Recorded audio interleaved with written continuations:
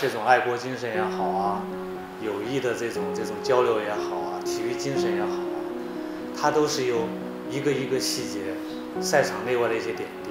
汇聚而成。这个也是最感动人，也是最具影响力、感染力。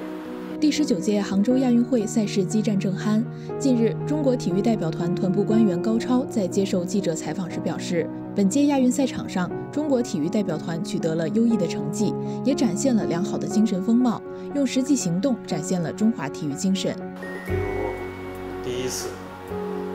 身穿国家队战袍赴在亚运会的郑钦文，在夺得女子网球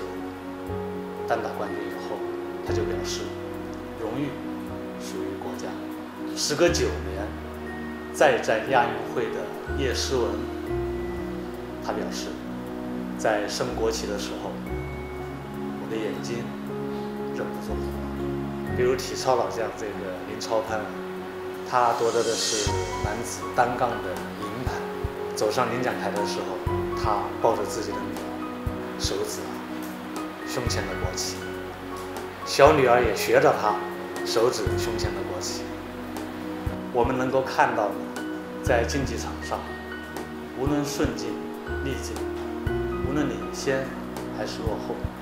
我们的运动员都始终保持着顽强拼搏的姿态。为国争光呢，对于运动员来说，不仅是一句誓言，更是深刻在骨子里。而在赛场内外，运动员们之间既有激烈的竞争比拼，也有温情的交流互动。杭州亚运会这次主题歌呀，《同爱同在》里边有一句歌词，我觉得写得很好，就是“生命温暖生命，力量激发力量”。可以说，这样的故事在杭州几乎每天都在上演。比如这个张雨霏与池江梨花子啊。深情相拥，这样一幕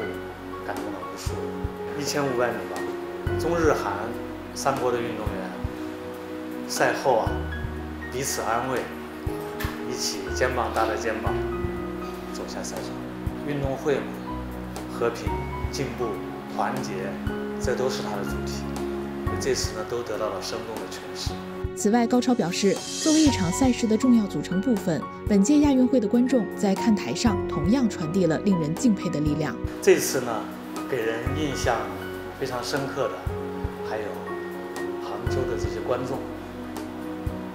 他们在赛场上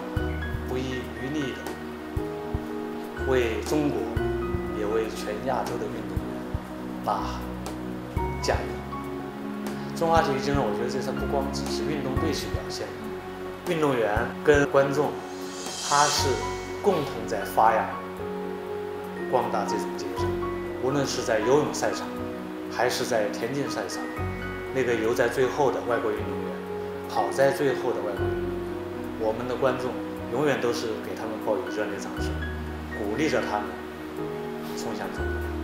巴黎奥运会还有不到一年时间就将拉开帷幕，走下亚运领奖台的运动员们将紧接着开启后续备战。在高超看来，奋斗没有止境，脚步永不停歇，这也正是中华体育精神最生动的诠释。